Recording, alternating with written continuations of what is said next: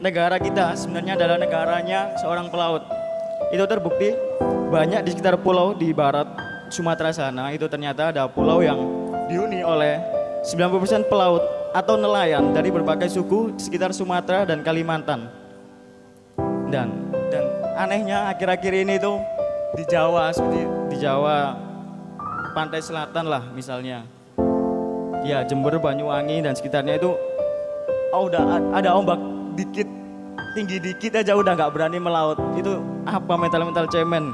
Dan kita itu sebenarnya dari Poltek Kapal ini ingin mendidik para pelaut ini untuk berani terjun ke laut. Dengan ya itu kita ber kita berinovasi di bidang kapalnya itu sendiri supaya tidak mudah terbalik oleh gelombang yang tinggi. Itu yang dapat saya tambahkan Secara teknis sudah ada pembagian yang luar biasa. Jadi urusan-urusan kapal besar menengah ke atas dan kapal-kapal yang untuk ibarat ekonomi itu UKM UKM-nya yang untuk rakyat kecil. Eh, tetapi tema mal sebenarnya tidak ada hubungannya dengan ini ya soal petani apa, pelaut cemen dan seterusnya. Ya, tidak ada hubungannya dengan tugas eh, anda di PNS di sini. Tetapi karena tema malam hari ini adalah soal kepribadian dan siap kesiapan kita sebagai manusia patriot eh, apa namanya profesional untuk maju ke depan sebaiknya kita berdialog. Jadi mas yang baju coklat tolong mikrofonnya. Jadi saya mau saya mau saya tertarik betul sama pernyataan-pernyataan anda. Eh, namanya siapa dulu mas? Eh, ya nama saya Wahyu Adi Satrio wah panggilannya Wahyu Wahyu. Wahyu dari mana aslinya? dari Surabaya Surabaya. Sudah pernah nangkap ikan pakai perahu? kebetulan belum Pak. Guru. belum Sudah pernah berenang di Laut Selatan?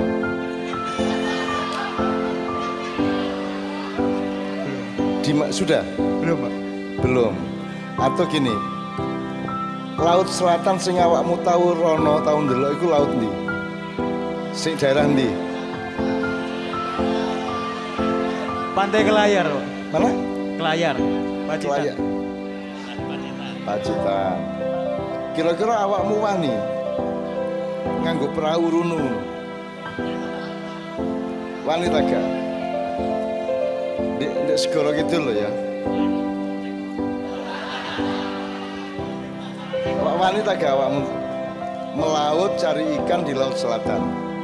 Oh, sebenarnya juga nggak berani sih makanya tadi aku bilangnya aku bilangnya gini aku bilangnya gini kita bikin kapal yang bisa apa meskipun ombak tinggi itu bisa itu Enggak, kalimat yang saya dengar tadi kan itu pelaut-pelaut yang bermental cemen ini kan, ya toh? Jadi aku kan bangga kalau ini berarti top ya Riko Kapasus sih berarti. Ini berarti dan jaganya angkatan laut itu. Gitu loh.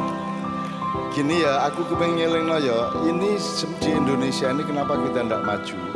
Karena begitu kon sekolah, kon itu merendahkan bapakmu begitu kon sekolah kon langsung nganggep bapakmu wong tua tua goblok-goblok siji ya tak gak ngaku itu kualat gak ilok dan tidak realistis nomor loro wong kon gurung tahu numpak perahu ndolek iwak lho kok kon wani-wani ngomong ngono iku lho eh kok kon wani ngomong Iya apa sih? ini loh, jadi orang yang kuliah di Fakultas Pertanian lebih merasa lebih hebat daripada petani langsung ceritanya saya. Kamu kuliah di te- apa Politeknik Perkapalan merasa lebih hebat daripada nelayan. Ngono, saiki wong saiki ngono iku. Ndase gede ngono iku. Ya ta gak? Kon gak ero ta? Kon gak ero ta? Ya nang kenjeran mancing. Kon gak ero laut kidul ta? Kon wis ngerti cuaca ta gurung? Wis apal ta gurung? Dalam satuan bulanan, mingguan maupun harian sudah hafal belum? Lah kok kon wani ngomong nelayan cemen ya apa ceritanya? Kon niku tahu lapo? Ngene iki lho, iki, iki serius lho, Pak. Kalau calon-calon pemimpin bangsa kemelindi ngono iku, ya. Bagus sih kayak ngono iku, ya.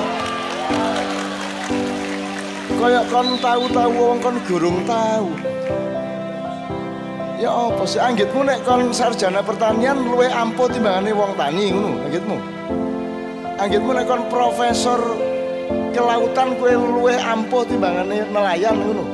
Engko sih aja ngono kan iku aja ya apa sih ngono. Wes wes wes. Tuh tolong kalimatmu aku aku iki wong gak sekolah. Aku iki wong gak sekolah, aku iki wong wong kerja keras.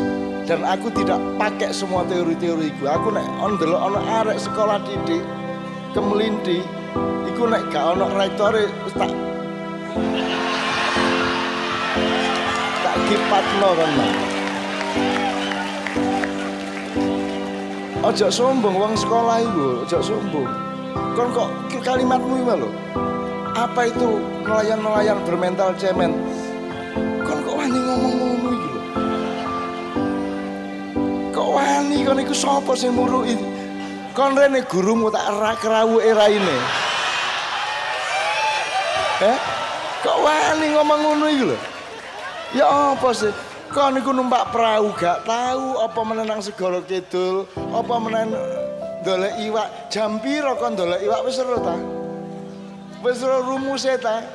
Jam piro pasang, jam piro surut, dina apa gelombang munggah dina apa? Kon wis apal ta? Wong kon gorong tahu lapo-lapo. Wong jek jomblo ngomentari wong rabi. Ya, iki aku serius loh ya. Ojo ngono ta, dijogo ta cocote iku. Kayak iso ngomong cemen nih lho. Ya Allah iki, ya Allah. Kok ojo ngomong ngono iku ya le ya, gak ilok kon karo wong tuwek-tuwek ya. Gak ilok ya, gak apa ya, ojo. Aku ngene iki gak apa ya. Lah iya kon ojo ojo kendel-kendel. Terus engkau kon sarjana merasa lebih tinggi daripada bapakmu sing dodol bakso ngono. Iku sing gare bangsa kita melorot menjadi pengemis. Yang membuat kita menjadi mental bobrok. Ya apa arek Yesus Yesus. Ngene ya, Dek, ya, cek mereng-mereng ya, iya ya. Kon iku yang ngono dioreng-oreng ya gak kerasa kon iku. Yes gak ya bismillah apa ya rek ya jenenge mbah ya. Jenenge mbah ya iku anak karo putune ya. Heeh. Karena ini masalah kepribadian. Kamu tadi kan sudah mengatakan kapal ini tidak akan sampai ke tujuan tidak hanya karena mesin dan kapalnya, tapi juga karena mental nakoda dan awak kapalnya. Betul enggak? Kan gitu kesimpulannya. Maka di eh, Politeknik Perkapalan di sini ini tidak hanya pendidikan teknis gawe kapal-kapal kecil, tapi juga nomor satu pendidikan kepribadian, mental yang bagus, profesionalitas, hati yang jembar dan seterusnya. Ngono ya ya. Ngono ya, sepurane ya iya ya, aja mereng-mereng ya. Iya, betul apa Heeh. Karena jangan ngomong cemen-cemen kan ya. Ah, arek-arek iki.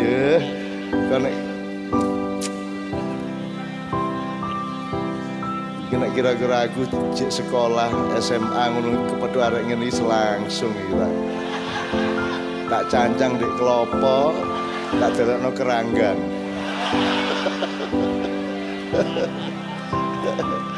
tapi by the way, ya tahu waduh kawan. Ya, tapi apa pun yang terjadi itu semua adalah dialektika dan dinamika dari semangat generasi muda untuk mencari yang terbaik bagi masa depan bangsanya.